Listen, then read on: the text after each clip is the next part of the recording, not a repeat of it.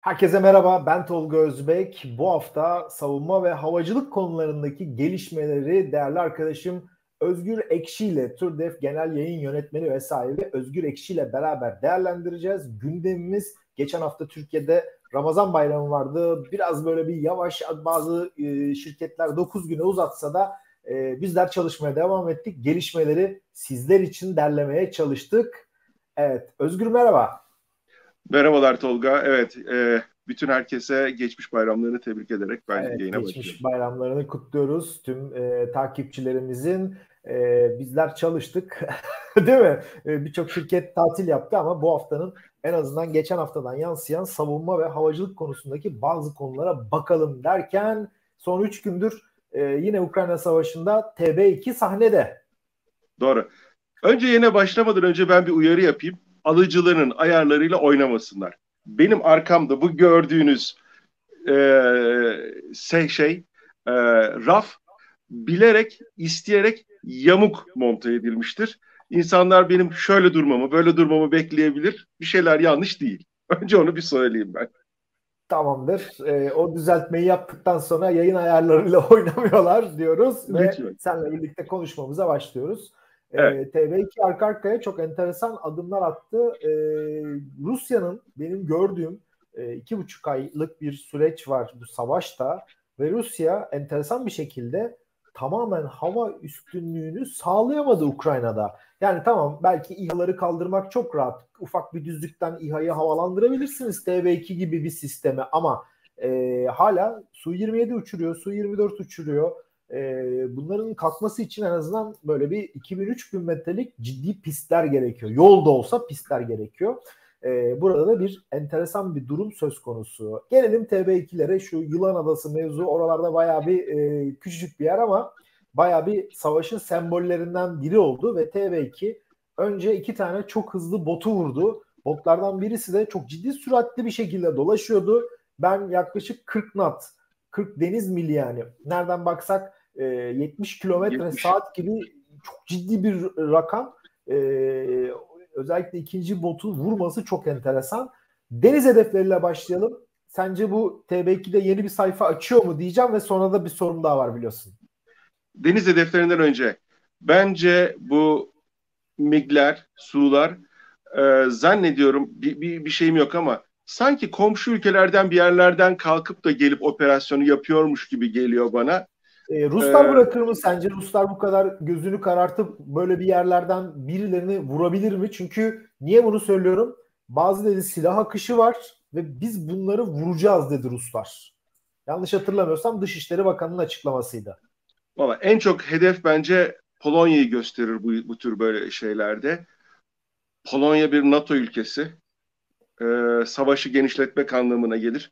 Bence Ruslar görüyorlar ve görmezden geliyorlar. Çünkü savaşı genişletmek şu aşamada hiç işlerine gelecek bir şey değil. Evet. Ki... Evet. E, şimdi TB2'lere gelelim. TB2'ler e, gerçekten ilginç bir şey yapıyorlar. Aslında bundan birkaç hafta önce Mavi Vatan tatbikatıydı yanlış hatırlamıyorsam. Hı hı. Mamle bıraktı e, Aksungur. TUSAŞ tarafından geliştirilen Aksungur bir deniz hedefine çok ciddi bir taarruzdu aslında bu. Doğru.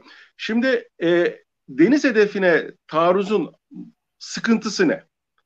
Evet. Eğer hedefi vuramazsan... E, izleyicilerimize söyleyelim. Çünkü kara değil bu. Bir deniz yüzeyi var ve öyle karadaki gibi vurmak çok çok da kolay değil. En önemli zorluk aslında e, net isabet gerektiriyor. Çünkü e, yakınına düşürmek kara hedefinde yakınına düşürmek yine bir e, zarar verici bir eylem. Oysa suya düşürdüğünüz zaman hani suya düştü diyoruz ya aynen öyle. E, şey yapamıyorsunuz e, patlamıyor, infilak etmiyor. Bu da hedefi ıskalamak demek. Yani başarısız olmak demek. Aslında hedefler e, kara hedeflerinden daha büyük ya da daha küçük değil, yakın. E, hatta bot 13 metre bazı kara hedeflerinden daha da büyük. Ama dediğim gibi sonuçta böyle bir hedefi vuramazsan kesin kaybediyorsun. Yani sıfırla bir gibi matematikte şeyde bilgisayarda gidiyor ya ya var ya yok. Evet veya hayır. Belkisi yok. Bir de e, bot 13 metre ama botun eni ne kadar? Yani onun 2 metre bile 4.1 4.1 yani metre. 1 metre kenara kaysa belki suya isabet edecek hiçbir şekilde. 10 santim. Ya 10 santim 10. kenara kaysa 1 metreyi konuşmamıza gerek yok. 10 santim yanına düşse suya cüp diye düşse bütün duyacağımız cüptür. Başka hiçbir şey değildir. Ondan sonrasını balıklar düşünsün diyoruz. ee, Ondan sonrasını balıklar düşünsün. Bir de tabii yani, ki deniz üzerindeki oluşacak herhangi bir e, sis veya nemli hani hızlı buharlaşmayla birlikte olacak bir buhar tabakası lazerle yapılan işaretlemede ciddi sorunlara Zorluk neden çıkıyor. oluyor.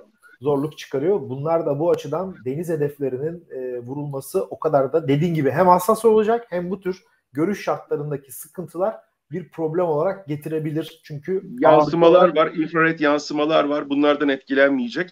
Ama buradaki en önemli şey dediğim gibi aslında bu cep dediğimiz e, vurma oranını alanını çok küçültmemiz gerekiyor. Net isabet gerektiriyor. Yakının hani eskiden konuşulan bir e, camdan içeriye sokuyoruz işi vardı. Bu gerçekten camdan içeriye sokma işini oluyor. Hiç öyle duvara değmek yok. E, mükemmel bir şey bu. Ve bunun tabii ki Türkiye için çok önemli bir tarafı var. E, MAM'dan evet. bırakıyoruz. Roketsan'ın ürünü bırakıyoruz. İkisi de bizim. E biz bunları nerede kullanabiliriz? Ege Denizi'nde, Akdeniz'de kullanabiliriz. E, kime karşı kullanabiliriz hiç konuşmamıza gerek yok. E, kaşınanlara, ben... kaşınanlara karşı diye söyleyebiliriz. Bunu İyi bir e, şu anlamda e, bir de tabii TV2'den baktığımız zaman radar kesiti olarak çok büyük bir hava aracı değil. Çok yavaş uçuyor çok. E, ve bunu özellikle Karabağ'da gördük, Libya'da gördük, Karabağ'da gördük, Ukrayna'da da görüyoruz e, batı yapısı radarlar ne kadar tespit edebilir, ne yapabilir? Bunlar soru işareti ve bir anda kafanıza belki 30 kilo mamle ama e, düşün bir geminin radarına geldiği zaman, komuta kontrol merkezine geldiği zaman e, koca gemiyi bir anda savaş dışı bırakabiliyor. Yani insan hava araçları deniz hedeflerine karşı da çok etkin kullanılabilme aşamasına geçildi. Yeni bir sayfa açılıyor diyebilir miyiz? Kesinlikle. Şimdi bir mamle bir korvet tipi, bir fırkateyn tipi büyük tonajlı bir gemiyi e, batıramaz. Kimse böyle bir hayale kapılmasın. Hani milyarda bir gelir de bacasından içine girer de kazan dairesine. Hani eski hikayeler vardır. Öyle Çok bir şey eski, olur. Eski hikayeye gitme istersen. Ee, Rusya'nın başına gelen de e, Moskva e, gemisinin başına gelen de cephaneliğin infilakı yangının söndürülememesi. Ama o Neptün'ün sonuçta. Orada bir yani yine tabii ki tabii ki yani bir mamleden bir gemiyi batırmasını büyük bir gemiyi bir e, şey büyük tonajlı bir gemiyi batırmasını bekleyemeyiz. Ama dediğin gibi aslında e, sensörler örneğin geminin gözleri radarını vurursak, sensörleri vurulursa ya da uyduruyorum bir civsinin vurulduğunu düşün. Civsinin radarının vurulduğunu düşün. E, close Air in, e, Close Air Support sisteminin, bütün yakın hava savunma sisteminin dakikada 5000 mermi atan sistemin görmediğini düşün. E bitti. Yani klasik bir bomba ikinci taarruzda klasik bir bomba bile o koca geminin batmasına neden olabilecek. O yüzden çok çok önemli. Ha burada bir TB2 kaybedilebilir. İnsansız bir hava aracı. Üç Zaten tane kaybet. Üç tane kaybet. Üç tane kaybet. Üç tane kaybet, on tane de mühimmat bırak. Hiç önemli değil. Şimdi önemli. her zaman hep yıllardır hep söylediğimiz bir şey var. Sonuçta bu harp dediğimiz olay ekonomik kaynakların karşılıklı bir muharebesi yapılıyor aslında. Yani ben bir birim ürünü ne kadara mal ediyorum, sen onu durdurmak için ne kadarlık harcama yapıyorsun. Bu sürdürülebilir değil. Eğer Hutsiler, Suudiler atış yapıyor, Suudiler Patriot'la yanıt veriyor, onlar bile yandım Allah diyor. Yani çünkü milyar dolar bu sistemler tabii. Bir tanesini atıyor 100 bin dolar, ötekisi yanıt veriyor 500 bin dolar. 5, 5 milyon dolar. Ee, ben bunu yine güncel bir şeye bağlayayım istersen. Ee, İsrail'in malum e, demir kubbe sistemine çok güzel bir sistem. Küçük de bir e, ülke. Iron Beam yani. Değil. Iron Beam e, vurmaya çalışıyor. Çok e, etkili ama attığı maliyet nedir? Niye lazere dolar. dönüyor? Yani niye lazere dönüyor? İşte 3,5 dolar bir lazerin atışı. Öbürkü şu an hatırlamıyorum ama benim hatırladığım 100-150 bin dolar gibi bir e, ki kendi yaptığı bir sistem. Başkasına kaça satar bunu bilmiyoruz. O zaman basit bir füzenin e, Kudüs'e doğru atılan bir füzenin maliyeti belki bin dolar. Harcadığı para 150 bin dolar karşılığında. Ve bunlardan birkaç tane birden atıyor. Adam onu 3,5 dolarlık lazerle vurmaya çalışıyor. Dediğin maliyet hikayesi de çok önemli. Kesinlikle. Buradan çok büyük bir şeye geldik. Şimdi e, Yılan Adası'na dönersek. E, pazar sabahından itibaren işte Mi-8 helikopterine ilişkin bir görüntüler başladı. Bu görüntüler ne kadar gerçek ne kadar değil hala kafamda benim doğrusu şeyler var, tereddütler bir var. gazeteci olarak soru işareti koyalım oraya. Çünkü öncesinde de Su-27'lerin ikili taarruzu vardı. Ee, olabilir. Ee, bir propaganda yani, savaşı da var iki taraf tarafından. Ben her zaman söylüyorum, e, savaşta önce gerçekler ölür. Önce propaganda savaşıdır bu iş. O yüzden doğru olduğunu varsayıyorum. Yani çok kaynaktan konfirm edildi. Savunma Bakanlığı'nın kendi resmi kaynaklarından geldi. Orada bak TB2 demiyor yalnız. Ee, ama e, yani bir şey var. Ee, %99'un bunun doğru olduğunu düşünüyorum ama %1 bir şüphe aklımda var. Eğer burada M, e, Mi-8 helikopteri, genel maksat helikopteri e, asker indiriyor görüntülerde, videoda. İşte inenler etrafa yığılıyor, çevre güvenliğini alıyor. Çok gerek varmış gibi çevre güvenliğini alıyorlar. Ve e, o sırada bir nereden geldiği belli olmayan bir mühimmat, büyük bir gök, bir göz şeyi ve patlama ve Mi-8 şey. Hoş e, daha sonra onun fotoğraflarını bulduk aslında. E, kuyruk konisi biraz geriye düşmüş ileride şeyler var, helikopter vesaire var. Her bir şey görülüyor. E, bu helikopter eğer hover pozisyondaysa yani yerden yani bir hava, santim bile yüksekteyse yani havada asılı duruyorsa yani teker koymadıysa yani uçuyorsa bir bir e, TB2 uçan bir platformu vurmuş demektir. Bu bir e, bir e, başarı hanesine bir cümle olarak bir defa yazılır. Savaş doktrinine bir sayfa yepyeni bir sayfa açılır. Çünkü eğer bir şimdi şeyi düşünmeyelim lütfen artık bir uçak vuracak falan gibi bir şeyleri düşünmeyelim. Ama eğer bir e, havada asılı duran bir helikopteri vurursa bu tepeden yukarıdan 90 derece açıyla ya da yanal bir açıyla e, atılacak bir mühimmatın e, gene Ege'de ve Akdeniz'de bize çok büyük avantaj getireceğini gösteriyor. Niçin? Çünkü eğer havada ise bu artık hedeflerin yüksekliğini de hesaplayabiliyoruz. Yüksekliği de hesaplanarak hedefler vurulabiliyor demek. Bugüne kadar iki boyutu konuşuyorduk. Uz biraz evvel konuştuğumuz gibi örneğin denizde dahi, su üstü hedefte dahi o 13.9 metre, 4.1 metre işte uzunluğu, genişliği budur diye konuşuyorduk. Yeni soru yüksekliğine. Yüksekliğini bir eğer hedefin konuşuyorsak yani bir hava hedefini uçar pozisyondayken konuşuyorsak örneğin Libya'da bir tane e, tanker şeyi e, nakliye uçağını vurmuştu. O yerdeydi. Onu saymıyorum. E, bu bir hava platformları açısından büyük bir yenilik getiriyor. Çünkü yine bir tekneye dönmemiz gerekiyor. Örneğin e, denizaltı savunma harbinde e, gemilerin arkasında, korvetlerin, fırkateynlerin arkasında helikopter görürüz. Bu helikopterlerin şöyle bir görevi vardır. Biraz o, o kısmını anlatalım o izleyicilere. Ee, bu önemli arkadaşlarımız için merak ettikleri neden bu kadar önemli? Yani yoksa yerde bir helikopter de vurmak aynı bir şey. E, kamyonu da vurmak aynı şey değil ama. Değil. Şimdi bir akıllı bir komutan asla denizaltının bulunduğu denize gemisini sokmaz. Çünkü kolay hedef olur e, denizaltının o var olup olmadığını anlaması için bir tetkik etmesi gerekiyor. Nasıl anlayacak? Geminin kıçından helikopter kalkar. Bunun altında bir sonoboy vardır. Bu, bu sonoboyu denizde istediği yere, araştırma yapacağı yere getirir. Hover pozisyonda, havada asılı durarak oraya daldırır. Şimdi burada bir tane sorun vardır. Deniz suyunun sıcaklığı, deniz suyunun tuzluluk oranı başta olmak üzere deniz suyu çeşitli katmanlar oluşturur. Son iki şeyin sonu boyun çalışabileceği katmanlar.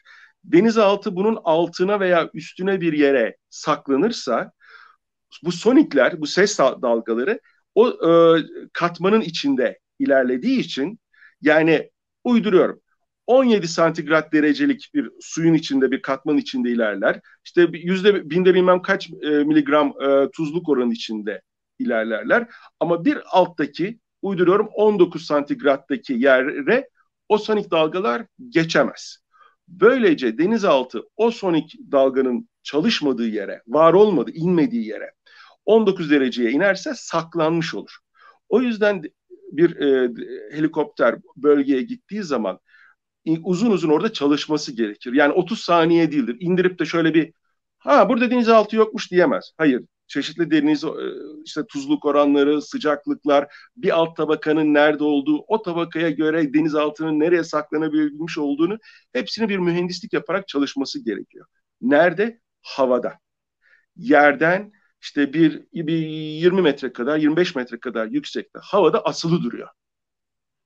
İşte artık eğer biz eğer Ukraynalılar Yılan Adası'nda bu e, Mi-8'i havadayken vurduysa irtifası olan bir cismi, bir hava platformunu vurduysa artık denizaltı savunma harbinde karşı tarafın hover yapacak helikopterlerini birden fazla defa düşündürmesi gerekiyor, düşünmesi gerekiyor.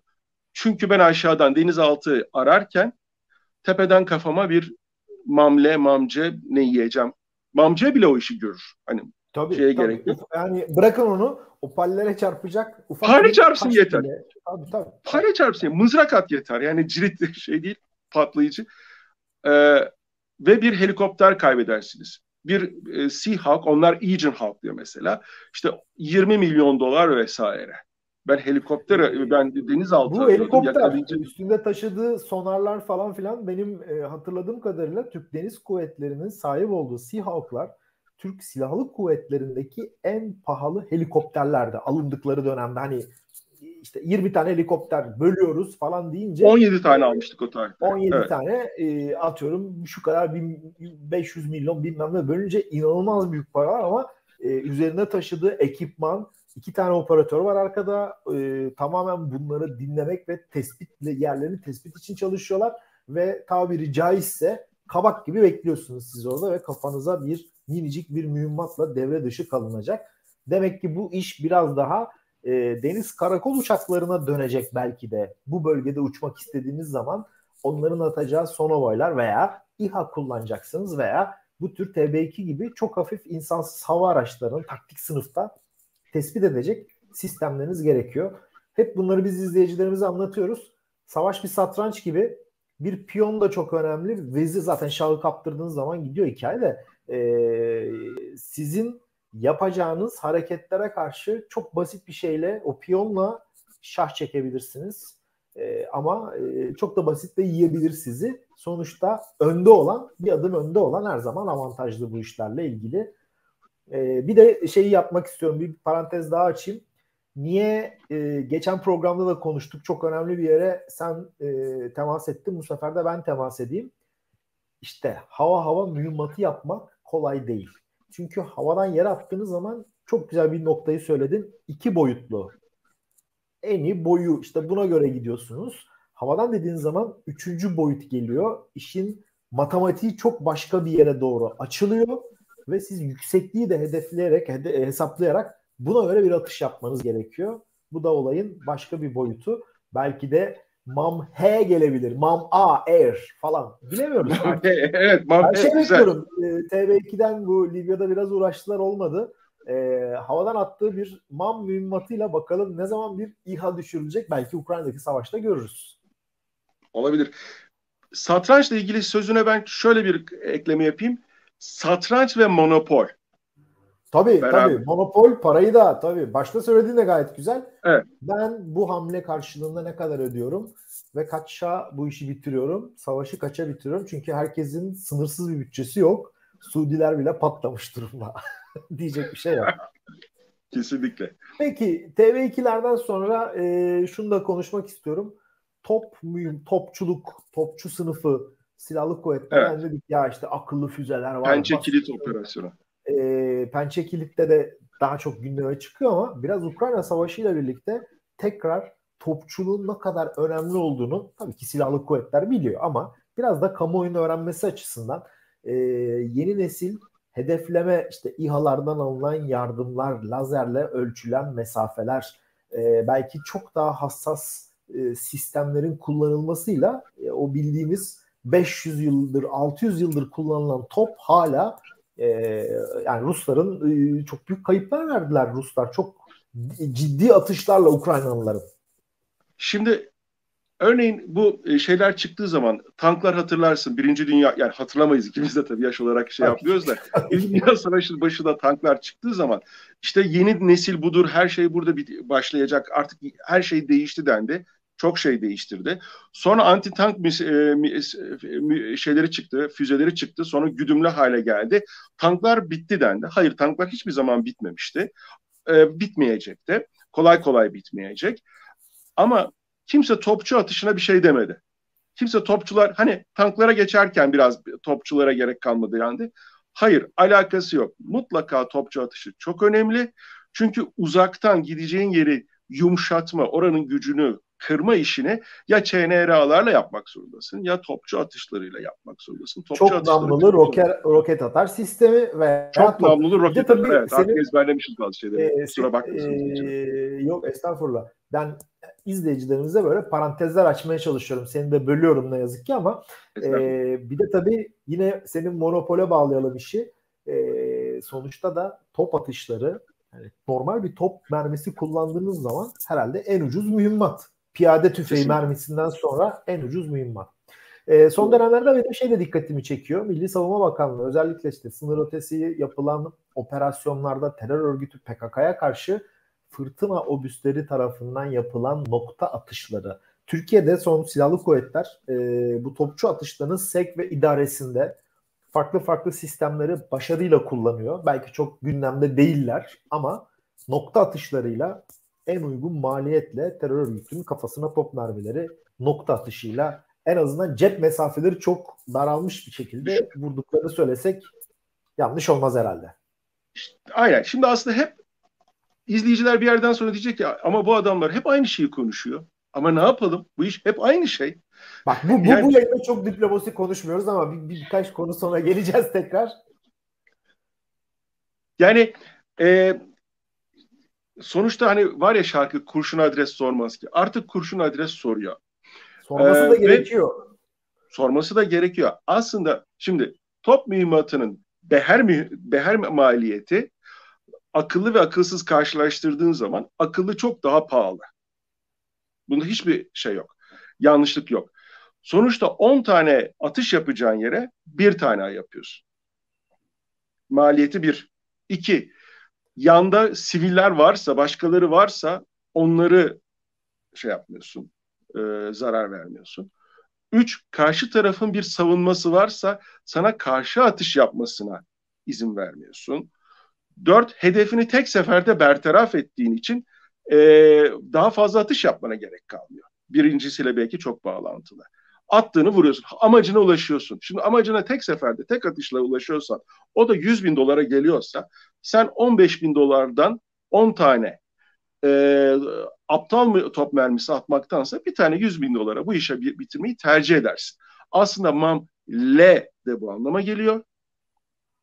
Bizim e, pençe operasyonunda, pençe kilit operasyonu, pençe çünkü daha önce de var. Pençe kilitte yaptığımız gibi 40 kilometre öteye buyurun arkadaşlar yan masadan getirdiler şu kucağınıza mermiyi, tabiri caizse. Kucağınıza e, getirdiler diye e, getirmesi de aynı amaca hizmet ediyor. Tek seferde işi bitirmek. Burada da e, işte topun tekrar sahalarda savaş sahasındaki önemi belki de bir kere daha ortaya çıkmış oluyor.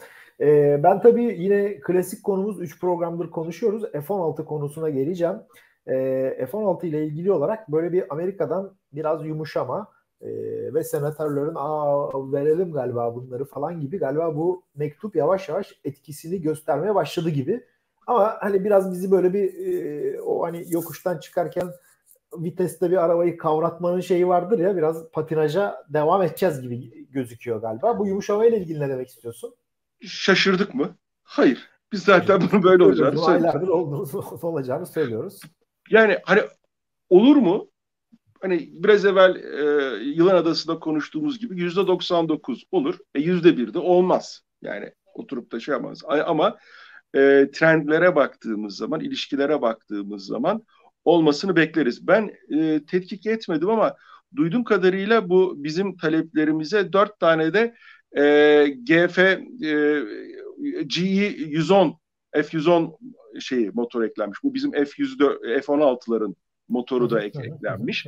Bu da şu anlama geliyor. E, e, bizim zaten kimseyle konuşarak yaptığım bir şey değil bu. Ama ben e, bizim yaptığımız talepte zaten F-16'sı teda tedarik ederken motorları hesaplayarak biz bu talebi yapmışızdır diye düşünüyorum. Tabii, bu tabii. dört tanesi çıkıyorsa bu bence Milli Muharip Uçak'taki talep ettiğimiz, kullanmak istediğimiz e, dört tane motorun karşılığıdır. Başka bir şey olma ihtimali bana zor geliyor. Birisiyle Vallahi, konuşarak e, söylemiyorum. E, ben de hani hissiyatlarım tabirinde bir şeyler söylemek istiyorum. E, 18 Mart giderek yaklaşıyor artık. Hani bir yılın altına düştük. 10 ay e, gibi bir süreç var. Hani 10 ay sonra e, Milli Muharip uçak üzerinde F-110 motoru ve fabrikada bir tören yapılacak. Bu motor çalışacak. Ee, bakalım neler olacak, neler bitecek. O süreci de merakla bekliyoruz bakalım. F-110 motoru bizim herhalde en iyi bildiğimiz motor. Yani biraz bu işin artık bizde Şahin, Doğan Şahin şeyleri vardır ya, tamircileri vardır ya. Adam egzozundan girir, kar, şeyinden karbüratöründen çıkabilir eskilerde, şimdi enjeksiyonundan çıkabilir. Öyle iyi bildiğimiz bir motor. O yüzden e, MMU'ya böyle bir dördüncü nesil motorun, dördüncü nesil bir motor eğer e, takılacaksa ki doğrusu da bu, prototip aşamasında en iyi seçimlerden biri zaten bu. En iyi bildiğimiz motor çünkü. O yüzden ben e, motorlar gelirse ve bunlar o motorlarsa e, 18 Mart'a yetişmesinde çok sıkıntı olacağını zannetmiyorum. Hoş bir şey söyleyeyim. 18 Mart'ta uçuracaklar mı çok emin değilim şimdi. Sanki gösterecekler. Evet, yani benim benim beklediğim e, çok da iddialı olmaya gerek yok bunlarla ilgili. Havacılık işi bu. Yetişir yetişmez uçuş ayrı bir mevzu. E, Kesinlikle tahminim, e, uçağı göreceğiz. Motor var üzerinde. Muhtemel orada bir motor çalışma ilk hani engine run, first engine run falan gibi bir hikayeler söyleniyor. Havacılık tabiriyle söylersek ilk motor çalıştırma yapılacak benim tahminimce. Zaten bunu bile görsek bu bile çok önemli bir adım. E, sonrasında da hani Türkiye'nin e, muhtemel Amerika'dan aldığımız belki de son savaş uçağı hani bir de e, F-35'ler ne olur bilmiyorum. Şu an ayrı bir e, şey olarak ayırırsak muhtemel Türkiye'nin de belki de F-16 Blok 70'ler belki de Amerika'dan alacağı son savaş uçakları olacak gibi gözüküyor. Peki motor demişken e, şu gelişmeyi de ben değerlendirmek istiyorum hazır seni yakalamışken. E, İngiltere'nin Başbakanı Boris Johnson geçtiğimiz günlerde ilginç bir çıkış yaptı. Sen de yakaladın bu çıkışı. E, Hindistan malum bu işte Çin'le olan hikayeleri şunlar bunlar iyice Batı bloğuna yanlamış vaziyette. Hindistan ve Amerika'dan da çok büyük destek. Aa diyor S-400'de alın hepsini veririz size falan diyor Amerika hatta. Boris Johnson Hindistan'a gelin Tempest projesine ortak olun. Size biz bir de Rolls-Royce motoru verelim dedi. Bu da çok enteresan bir çıkıştı. Ee, bir yandan da tabii Türkiye'nin de e, Rolls-Royce'la ilgili bu e, yakın teması devam ediyor. Hindistan'a karşı atılan adımla ilgili ne düşünüyorsun? Önce bir düzeltme yapayım ben. Ee, ben bir dostumun uyarısıyla Pakistan şey, Boris Johnson'ın Hindistan'daki o Tempest ifadesini yakaladım. Yani doğrudan ben onu doğrusu kaçırmıştım. Sonra benim bir yazım üzerine hatta e, Sayın İsmail Demir'in İngiltere'ye gitmesi ve bizim Rolls-Royce e, BAE Systems'la ve zannediyorum İngiliz Savunma Bakanı ve İngiliz İngiltere'nin e, ihracattan sorumlu e, bakanıyla görüşmesi var. E, oradan başlayalım konuya girelim hatta bence daha doğrusu. Geçenlerde böyle bir gelişmeyi yazdım e, Türkiye'den işte Milli Savunma Sanayi Başkanı İngiltere'ye gidecek. Rolls-Royce ve BAE Systems'la konuşacak. Sen teşekkür ederim. Sen de e, kendi şeyinde sitende Tolga Özbek.com'da buna yer verdin. E, böyle bir gelişme var ve bu e, hani zamanı kullanıyor sadece. Biraz da gizli tutuluyordu. E, zamanı kullanıyordu ve aldığım bilgiye göre biz Rolls-Royce ve BAE Systems'la Milli Muharip Uçak için konuşacağız. Rolls-Royce'la özellikle konuşma çok önemli. BAE Systems'da zaten mühendislik olarak bir ortak çalışma e, epey bir süredir devam ediyor Milli Muharip Uçak için. Orada da şöyle bir yenilik var. Orada bir faz kapanıyor. Yeni bir faza geçecekler. O fazın hazırlığı ve o fazın kabulü BA Systems'ın orada devamı, göreve devamı için yeni bir konuşma biraz daha söz konusu olan. Yani var olan sürecin devam etmesi. Evet. Ama Rolls-Royce zaten daha önce ben hani e, Katar'dayken Sayın Başkan'la konuşmuştum. Oradan yazmıştım. Sen gene teşekkür ederim. Yer vermiştin. İşte e, bütün Biz motorlar... Haberi her zaman açız. Haberi kim yakalarsa e, sen de yakaladın onları. Her zaman açık sistemiz. E, kim e, şey, işte bütün motorları tek bir projede birleştireceğiz. Bütün herkese aynen biraz ben monopolde olduğu gibi bütün projeleri yetecek paramız da yok zaten. Bütün hepsinden tek bir motor işi çıkacak demişti. Ve böylece Rolls-Royce'un aslında böyle bir işin içindeki önemi son derece yüksek bir hale geldi. Geçen sefer de konuştuk. Aslında Amerika İngiltere'nin de bu işlere fazla para yatıracak durumu, niyeti yok. Çünkü orada da hükümete herkes hesap soruyor. Sen bu parayı buraya niye yatırdın diye. Orada adam saat işçilik çok çok daha yüksek. Şimdi biz bu durumda Demir İngiltere'ye gidecek ve milli muharip uçak için Rolls-Royce ile bizim kullanacağımız motorun geliştirilmesi için bir şeyler konuşacak beklentisi içindeyiz. Bu da çok güçlü bir beklenti. Ama İngiltere'nin kullanacağı Tempest uçağın motoru da aslında aynı motor. Belki spekleri biraz farklı olur. Onları bilemeyiz. Onlar işte hangi gücü nerede isteyeceğini söyler, başka altı yükseklikler konuşulur. Ama bunlar hepsi birer e, tuning denilen biraz geliştirme şey işi. Ama önemli olan ilk önce 5. nesil, 6. nesile uygun motor üretme işi. Bizde bu teknoloji henüz yok. İngilizlerde de yok. Ama beraber geliştirilebilir. Bizim şu andaki en çok düşündüğümüz şey buydu. Benim bir dostumun vasıtasıyla yakaladığım, senin de şimdi söylediğin hikaye bu.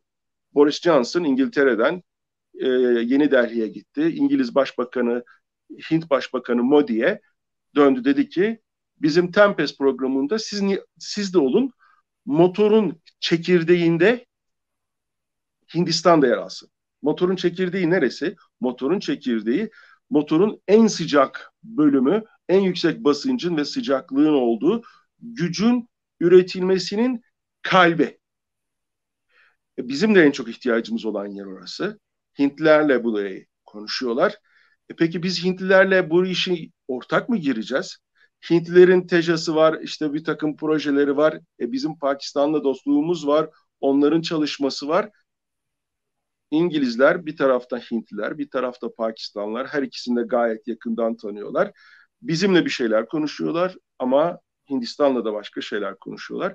Bence durup burada ne oluyor diye bakmamız gereken yeni bir parantez, yeni bir paragraf açılıyor burada. E, İngilizlerin de e, 40 tilkiyi kafalarında dolaştırıp kuyrukları birbirine değdirmeden e, bunu hani onlar yapar gibime geliyor ama dediğin gibi Türkiye, Pakistan, Hindistan bunlar arasındaki ilişkiler buraya doğru nereye evrilir? Bunlar da e, gerçekten düşünülmesi gereken önemli adımlar. Yine işin diplomasi tarafını bağlamış olduk buradan. E, bu da herhalde önümüzdeki günlerdeki atılacak adımlara bağlı gibime geliyor.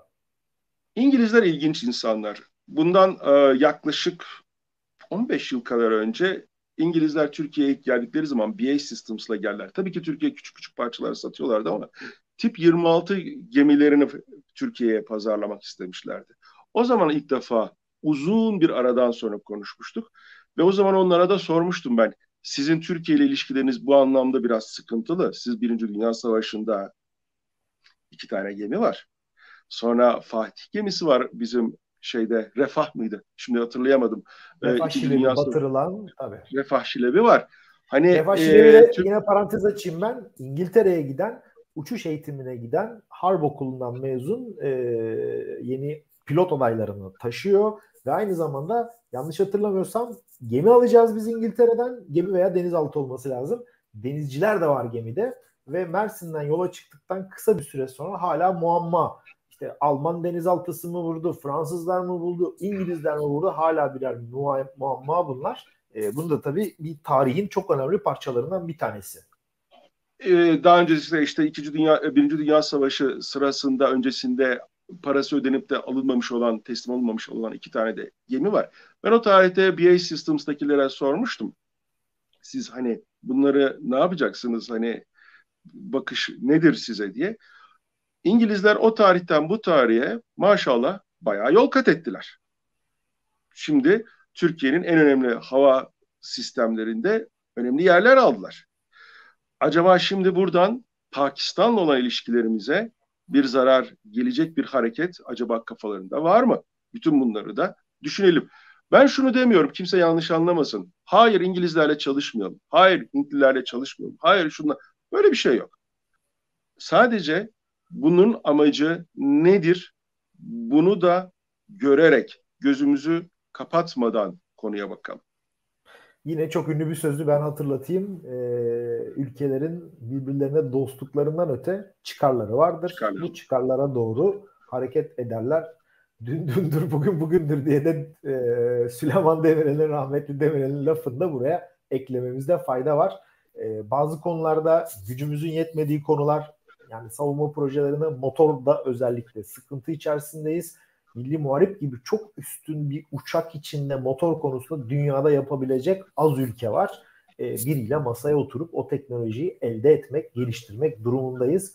Bu da e, biraz İngiltere'ye doğru gitmiş durumda. Malum tabii Amerika ile olan e, ilişkiler biraz buzlar eritilmeye çalışıyor ama onun öncesine katsa Avrupa'nın yine uygulamaya devam etti ambargolar açısından İngiltere'de biraz daha yollar açık gibi gözüküyor. Belki Türkiye bazı sistemleri İngiltere üzerinden temin etmesi de söz konusu olabilir. Tabii İngiltere derken lafı şununla da bitirmek istiyorum. Milli Savunma Bakanı Hulusi Akar'ın bir İngiltere ziyareti olmuştu ve burada da İngiliz Kraliyet Donanması'nda hizmete yeni giren uçak gemilerini bir gezme ve bunlarla ilgili de böyle bir inceleme söz konusu olmuştu. Savunma Sanayi Başkanı Profesör Doktor İsmail Demir'in İngiltere ziyaretince sence bu konuda gündeme gelir mi? Şimdi İki ee, tane çok önemli, yoğun tartışılacak konu var ama e, ben şimdi, İsmail Demir'in o konuyu pek ıskalayacağını zannetmiyorum. Detayı hatırlamıyorum. Ee, Queen Elizabeth'e mi çıkmıştı yoksa e, bir sonraki yapılana mı çıkmıştı? Şey hatırlamıyorum ben doğrusu. Queen Elizabeth diye hatırlıyorum. Queen Elizabeth. Bir, bir buçuk iki yıla yakın bir zaman geçti diye zaman geçti. kalmış aklımda. Doğru. Salgın Şimdi... sildi bütün hafızamızı, hard disklerimizi sildi. Bakmadan hatırlayamıyoruz. Doğru. Şimdi e, TCG Anadolu ve TCG Anadolu'da konuşlu olabilecek her yer tipi bir şeyleri eğer düşünüyorlarsa sanki biraz TB3 ve MIUS'la biz bu işi e, şey yaptık. Yani duruyor. Yani orada şey yapıyor. Harrier'ler bu arada çok şey uçaklar. Çok e, önemli uçaklar. Hani İngilizler bu uçakları işte ıskartaya çıkarttılar, verdiler, vermeyeceğiz dediler, yok dediler. e, bence Demir o işi biraz doğru bir hatırlatma yaptı. Ee, ee, uçak gemisi olarak söylüyorum çünkü Harrier'lar bir dönem epey bir gündeme gelmişti. İngiltere Kraliyet Donanması Harrier'ları emekli ederken çok önemli bir miktarı Amerika tarafından satın alındı. Yedek parçaları, şunları bunları ellerinde yani müze dışında pek kaldığını ben zannetmiyorum açıkçası yeni Türkiye'nin hani gelecek projeler arasında TCG Anadolu'dan daha büyük bir platform yapabilmek. Burada da tabii iş evrildi. Hani nasıl yayının başında TB2 e, su üstü hedeflerini e, helikopteri vurmaya başladı dediysek bu böyle de belki de MIUS'un daha rahat operasyon yapabileceği bir e, bir uçak gemisinin bir tık altı belki de bilmiyorum. Bir, bir yani bir farklı konseptler var. Bu konseptleri de e, biz yok kardeşim e, her yeri alacağız yok e, F-35'i bekliyoruz da bilmem ne yapacağız değil. Belki de bu konseptler tartışılacak. Hani bir yorum yapmakta şu an zor ama oraya getirecektim aslında sözü. Hani Harrier'ler çok güzel uçaklar vesaire ama Amerikan e, deniz piyadelerine verdiler uçakları. Ellerinde de e, çok fazla bir şey kalmadı. E, belki teknolojinin bir kısmını paylaşabilirler, teknoloji aktarımı yapılabilir. Ama bizim gözümüz gerçek anlamda bir uçakta olacağını ben doğrusu düşünmüyorum. Çünkü uçakla ilgili olan şeyimiz daha çok e, Mius TB3 ya Hürjet e, TFX Tempest olarak Tempest'te tabii, tabii. Tabii. Tempest'i de şey yapalım. Çünkü bir şekilde biz de Tempest'te alt yüklenici olarak gireceğiz demek de olabilir bu iş. Evet, ee, evet. Böyle bir şeyin içinde ben tekrar Harrier diye şey yapmayız ama oradaki örneğin dikine kalkışla ilgili teknolojiyle ilgili bir şeyler inceleriz diye düşünüyorum. Ama gemiyi e, inceleyebiliriz çok... belki de. Gemiyi inceleyebiliriz. Daha büyük bir yapı. Evet Nereye ama gider, asıl onu şey yapacaktım. Asıl bence bizim şeyimiz bu gemiyle ilgili olarak Türkiye bundan sonraki gemisini yani Anadolu'dan sonra bir Trakya beklentimiz var. Ee, belki Trakya bir e, belki Trakya e, Anadolu'dan daha büyük bir gemi mi olur diye sormak lazım. Doğrusu yani bir şey işte, bilerek söylemiyorum. E, konseptler e, ben de hani şu an sadece aklıma gelenleri paylaşmak istiyorum. Sen senle böyle bir e, bir fikir telakisinde bulunuyoruz. E, belki de e, hani TC Anadolu'ya biz çok görev yüklüyoruz. Çok böyle bir sancak gemisi. Ay o da bu da değil. Ee, üzerinde hiçbir helikopter yani şu anki mevcut AH-1W Süper Kobralar bile olsa Türkiye açısından bir tabur askerin istenilen noktaya intikali e, bir doğal afette bir yüzen hastane olması halkı tahliye edecek bir kapasite sunması bile tek başına Türk Deniz Kuvvetleri için ve Türkiye Cumhuriyeti için çok çok büyük bir kazanım. Ha üzerine İHA sistemleriyle neler konabilir, ne yapılabilir? İşte orada böyle yeni bir konsept başlıyor ve buralara da e, uymak gerekiyor belki de. E, belli olmaz belki İsmail Demir'in ziyaretinden bir TB2 siparişi de gelir mi, ne olur mu, ne biter mi? Bunları e, şöyle büyük matlarıyla falan güzel güzel olur. Güzel olur gibi geliyor yani. Valla İngilizler, İngiliz Savunma Bakanı Wallace bundan bir yıl kadar önce e, Bayraktar'ın Baykar'ın şeyini ziyaret etmişti. Ee, bizde bunlar yok demişti. Ee, İngilizlerin kendilerini ne kadar Rus tehdidi altında hissettiğiyle alakası olan bir şey bu. Bu arada güldüğüme bakmayın. İngiliz e, stratejik bombardıman uçakları Kuzey Kutbu'ndan dolaşıp İrlanda açıklarına kadar gelip İngilizlere bakın biz buralara geliyoruz siz haberdar mısınız? Yapıyor çok yapıyor onu. Diye çok, çok yaptılar. Çok yapıyor geçtiğimiz bir dört ay kadar önce bir orada bir tatbikat yaptılar. Deniz tatbikatı hı hı. yaptılar. Ee, İrlandalıları biraz rahatsız ettiler.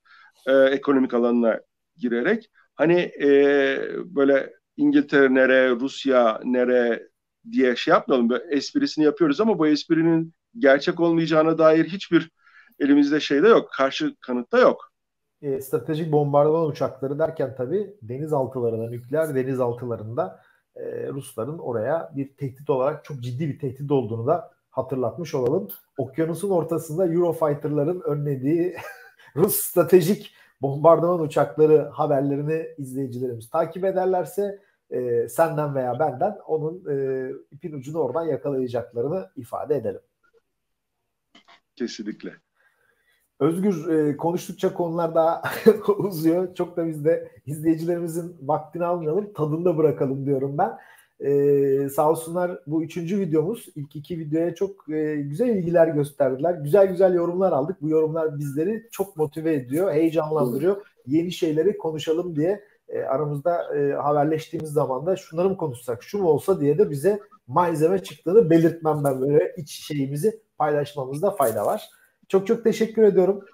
Zaman ayırdın. E, bu arada diyelim Özgür'ün, e, Özgür Ekşi'nin sahip olduğu Turdev İngilizce yayın yapan bir web sitesi. Türkiye'deki savunma sanayini yurt dışına tanıttığı gibi e, dünyadaki gelişmeleri de yakından izleyerek yorum olarak farklı bir bakış ile sunuyor. Meraklı arkadaşlarımıza her zaman öneriyoruz. Bazen böyle e, Katar'daki haberler gibi farklı şeyler olduğu zaman da ben de tolgozbek.com üzerinden Özgür'ün yazılarına büyük bir keyifle, büyük bir zevkle yer vermeye devam ediyorum. Çok teşekkürler Özgür. Ben teşekkür ederim Tolga. Ee, ne diyelim bir sonraki yayında görüşünceye kadar Türkçe konusun, konusunda haberler tolgozbek.com'da İngilizce takip etmek isterseniz Tur Defi e, şu an Özgür'ün title'ının altında yazıyor. Oradan e, Google aratmasıyla taktiği bulacaksınız zaten. Çeşitli haberleri takip edebilirsiniz. Bizleri sosyal medyada oldukça aktifiz. Bunlara bakmayı unutmayın. Kanalımıza e, abone olmayı, beğenmeyi ve o çana tıkladığınız zaman yayın başladığı zaman size bir uyarı geliyor cep telefonunuza. Bunları da yapmayı unutmayın diyoruz. Bir sonraki yayında görüşmek üzere. Çok teşekkürler. Görüşmek üzere. Görüşmek üzere.